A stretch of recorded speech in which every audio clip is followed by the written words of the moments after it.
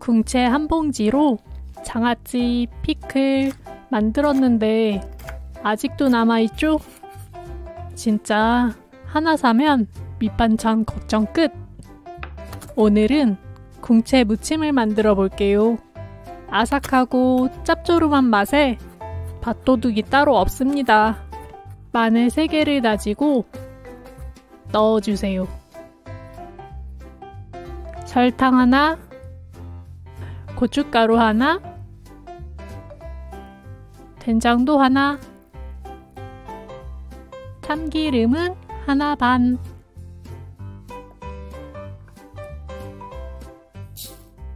참깨 한 스푼을 갈아서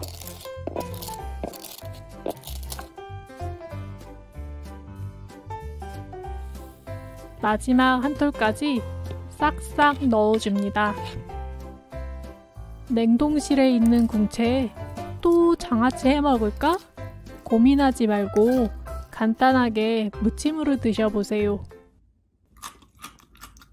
그때 그때 조금씩 묻혀서 먹으면 더 맛있습니다. 마지막 화면 캡처해서 꼭 만들어 보세요. 집에 궁채가 없다면 주문하는 방법 참고해 주세요. 구독과 좋아요 잊지 마시고 다음에 또 만나요. 밥도둑 궁채 잡아먹는 하루 되세요.